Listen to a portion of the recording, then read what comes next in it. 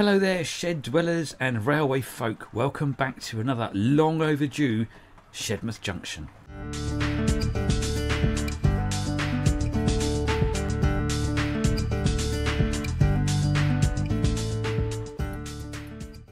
Okay, hello everybody, and welcome back. It's actually quite cold in the shed tonight, I can't deny it, but it's lovely to be back in your company once again. It's been way too long, hasn't it, eh? Way too long. Mind you, for some of you, you might be thinking it hasn't been long enough. Um, okay, this is the fourth time I've recorded this. Fourth time. it hasn't gone very well the first three. I'm clearly out of practice. But for tonight, I have some help in the form of Wingman IPA. It's happening. A little bit of the old BrewDog, and I'm pretty sure this time it'll be good. Okay. So to start with, I would just like to say a huge thank you to everyone who has continued to support us, even though we've been really lazy and haven't put out any content. Uh, no, I haven't been lazy. I've got to be honest with you, it's not laziness, it's been sheer busyness. As you all know, new job started. I just do not have the time anymore to come out here and do stuff. It has been a real bugbear of mine that I haven't been out here doing things. And I really, really want to. I really, really do. But I'm starting work an hour earlier and I'm finishing work an hour later. So just don't. Time I get in here, I'm shattered. The brain's gone to sleep.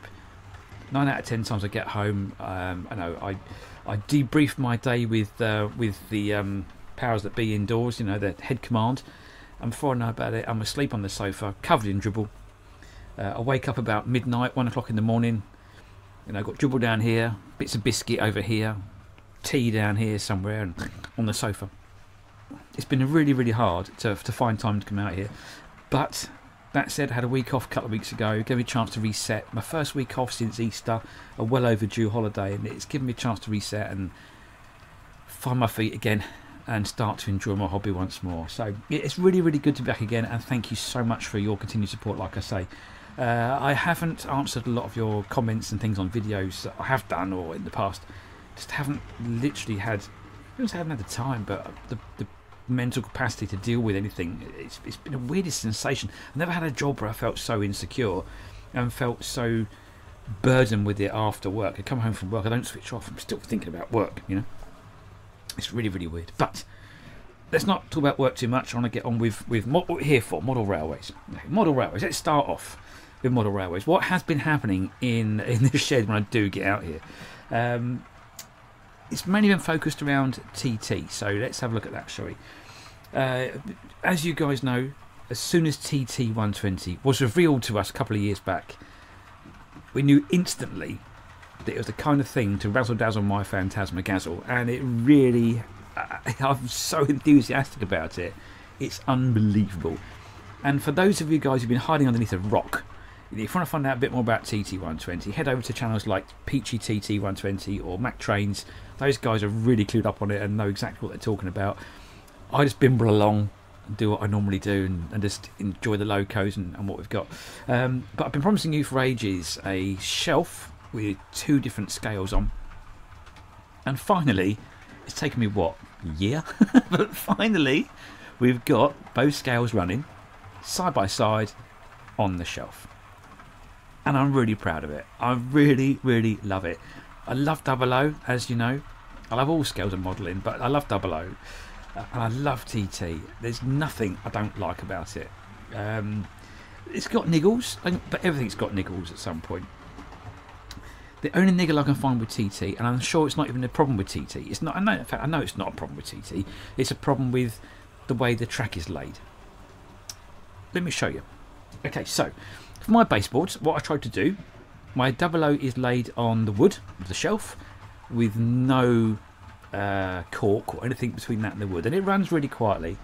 You know, the train's going around now, you get a little hum in the background, you can hear the joints in the track, clickety clack, clickety clack, and it sounds it sounds lovely and it's quite relaxing. You sit out here, listen to that, and it sounds fantastic. For the TT, I chose to mount it on some insulation board. Here's some I had earlier. Um, I've got tons of this stuff. Uh, it's given to me a little while ago. I've got loads left over. So anyone local wants any, tap me up and I'll, I'll you can have it. I'm not going to use all of that sort of stuff. I've got loads of it in the in the thing out there. Um, but I used that as my baseboard to raise it up slightly higher than the double O gauge. Okay.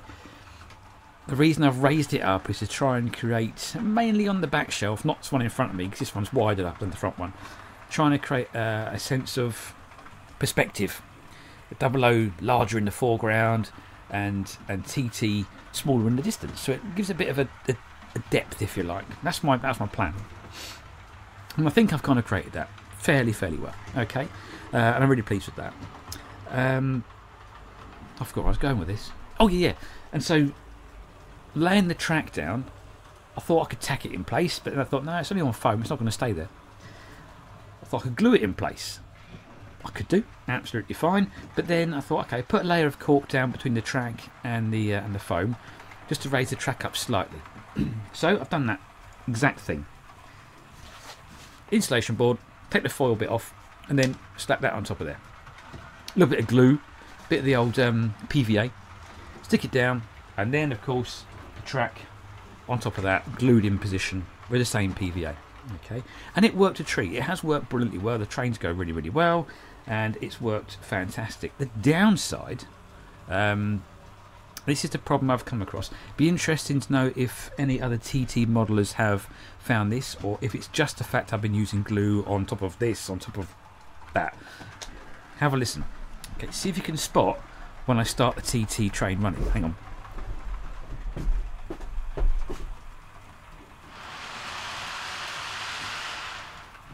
Hear that?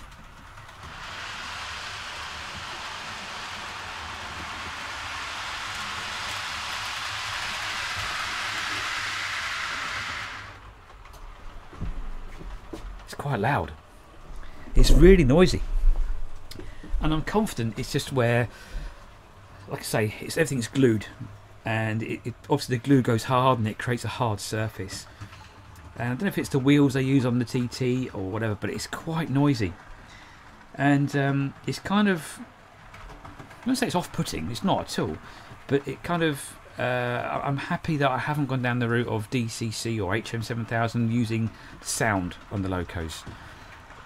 I want my trains to be relaxing, and the sound of double O mates going around now, I can just about hear it. It sounds nice, sounds railway like almost. That just sounds like a racket. So if I had the nice sound of the double O going around, the racket of that thing, plus loco noises buzzing off in here, and I'd go mad with the noise levels. But as it is, if I run the train nice and slowly, it's nowhere near as loud. I run that quite quickly then to demonstrate the sound differences. But no, actually, if I run it nice and slowly, at the pace I normally would do, it isn't too bad. Okay, but it'd be interesting to know if, if Greg or, or you know Chris at Peachy TTs has had that as well. Okay, if anyone's noticed it, just, just let me know. If there's anything I can do to lessen the noise, also let me know. Uh, if it means taking the track up again and relaying it, that ain't happening. I can keep it as noisy. Okay, so there you go. Look. you know what? I'm not much of an alcohol drinker, but this stuff is lovely. Oh, that's good.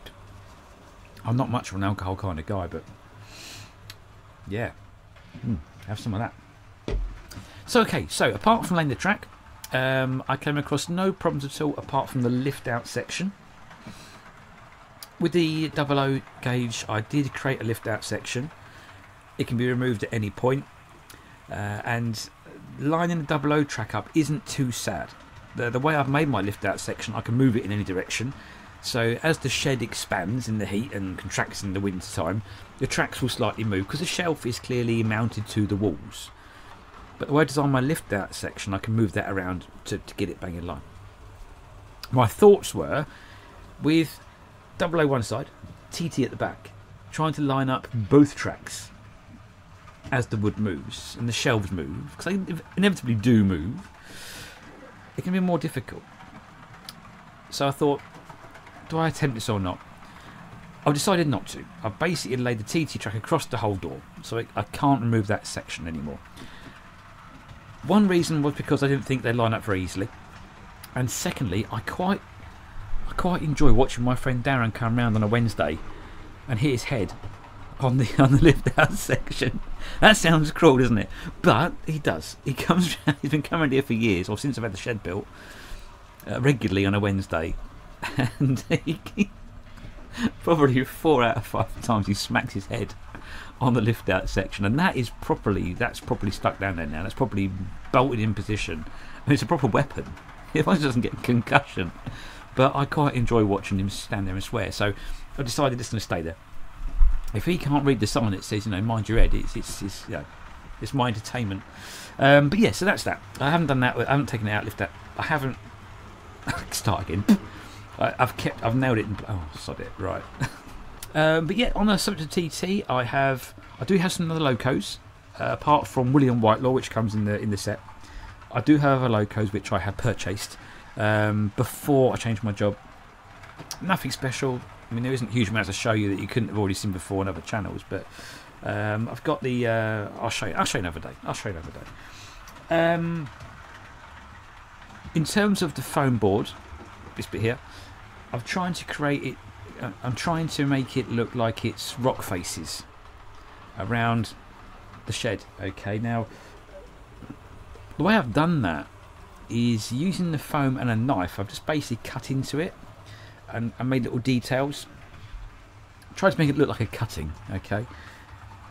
And now I'm at the point where I'm thinking I've just got to shape a few more bits and pieces and then I can start painting it and get the base colour down. Not quite sure whether to go uh, traditional like grey rocks or to do a bit more of a Dawlish uh, seafront with a bit orangey in there as well. Not quite so sure. Yeah, answers on a postcard. What do you think? Let me know.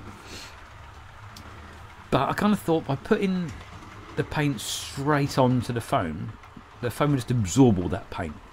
So I thought, I know, I'll put something over the top of that, layer it, so it creates a, a nice outer layer to paint a surface to, you know. Um, I thought about using plaster sheets, but it's quite thick. I didn't want to lose the detail that I've already got in the rocks I've cut. It looks quite realistic, I think. So what I've done, I've got a bit of tissue paper. I've dunked it in some PVA and water mix and laid one sheath, sheath of, of paper over the rock surfaces. See what you think. What do you think of this? Look, this is my practice session. So you can see from here, I've actually cut all the little the little bits into the rocks. Okay, I didn't want to lose that detail, and so all I've done then literally is is put this sheet of papier um, over the edge of that, and it's created, I think, quite a nice looking rock face. Okay, and that can go in the corners and that sort of thing, you know. But I think painting onto that rather than straight onto the foam might be a bit better. But time will tell. I will let you know how I get on with my experimental sessions.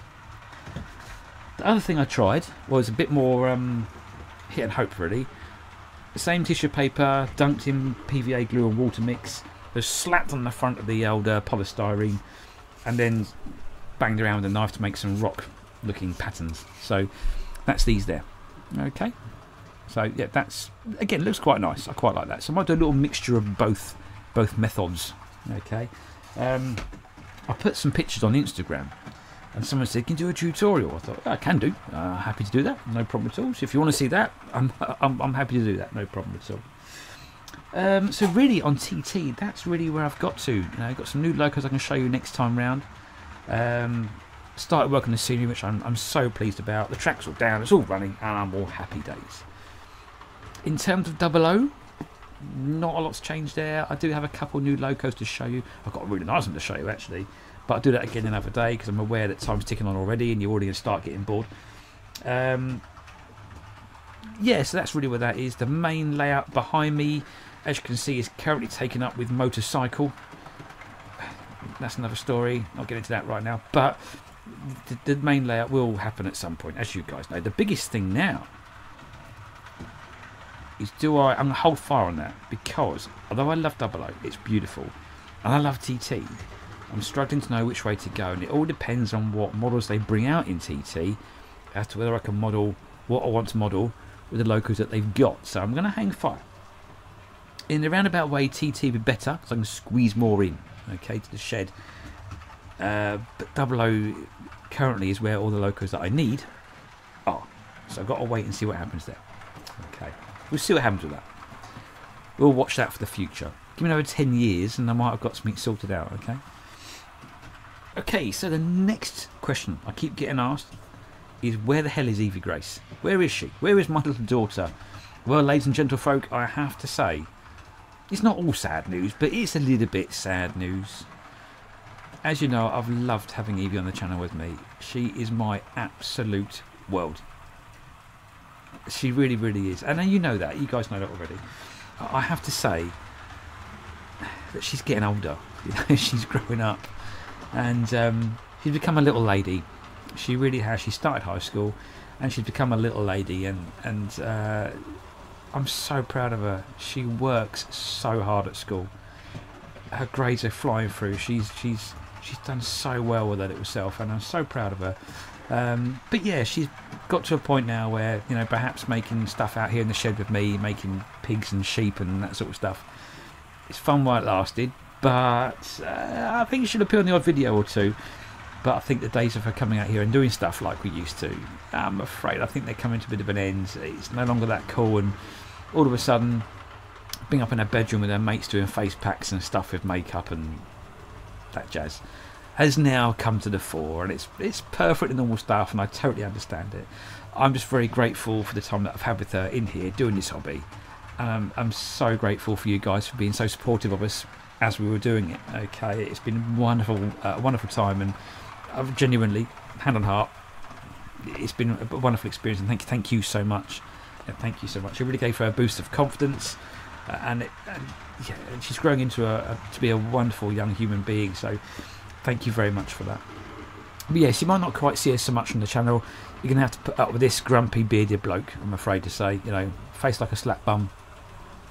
As far as it goes now. That's it. Ready lot. That's it. Downhill from now on in. Something else to tell you about. Something else I've got to, sh to share with you.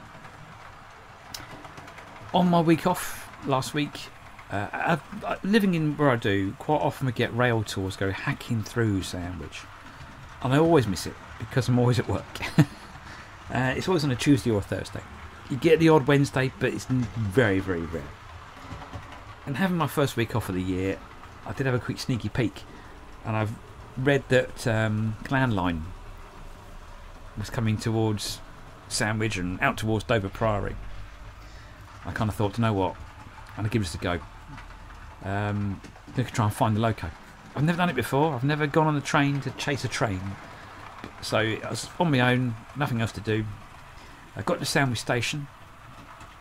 While I was there, the rail treatment train went through. My God, that thing was moving.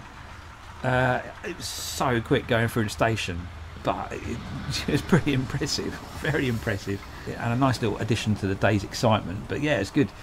Yeah, hopped on the train to uh, from Sandwich to Dover Priory. Haven't been to Dover Priory since the late 90s. I used to go to college. Uh, I had dreams of being an architect. Oh, I was, wasn't brainy enough. I was dead thick. And so, um, but I did a couple of years at construction college, and uh, I used to go through Dover Priory to go to Folkestone. And I couldn't drive back then. I only had a motorcycle license, and in the thick of winter and snow, it wasn't much fun. So I'd catch the train to Folkestone. So it's seven pound fifty return back then, and that was probably the late 90s. £7.50 return, Sandwich to Folkestone, and uh, I think now, it, God knows what it would cost. I dread to think it's about sort of 15, 20 quid, I guess, I don't know. Either way, I digress. Uh, went on to uh, Dover Priory and got talking to some really nice chaps on the platform who were clearly waiting for the same thing as what I was. Turns out we was on the wrong platform. so we stood there on platform two thinking we've got like four minutes left before Clan Line's due in. And with that, uh, a high-speed train rolled into the platform. So, and uh, Clan Line's coming on platform one. So our view is going to be slightly um, interrupted. So uh, you've never seen three chaps run so fast. Straight up the steps, across the bridge, down the other side, and literally we got down the bottom just as, as the loco was coming into the station. Talk about cutting it fine, but yeah, yeah. Once it arrived, it was oh, phenomenal. Um, a full rake of Pullmans and, and, a, and, a, and a 67 at the back. It was just uh, amazing sight. It's so highly polished. It looked lovely. They stayed on the platform for a good half an hour while they put um, they gave it some water and uh, photograph opportunity for the uh, people on the tour. Once it all went back into the carriages and the coach and stuff, we just had our, uh, us enthusiasts had chance to get the photographs and, and, and watch it pull away. And what a stunning loco. What a stunning loco. And it's something that I, I don't get the same feeling with diesel engines. I love, I don't mind diesels. I've got nothing against diesels whatsoever. But when you watch a steam loco in, in motion, you can physically see the power. You can see this thing is actually alive, and it's yeah, it's awesome to watch. And watching it pull away, I was, ah, it's, it's even a bit emotional. Is that the right word for it? It's like you get really misty-eyed over it, and you know, I'm I'm not um, I'm not old enough to remember Steam in its day, you know, but I would love to have been around when Steam was in its heyday. Oh my God, yeah, it's just proper right up my street.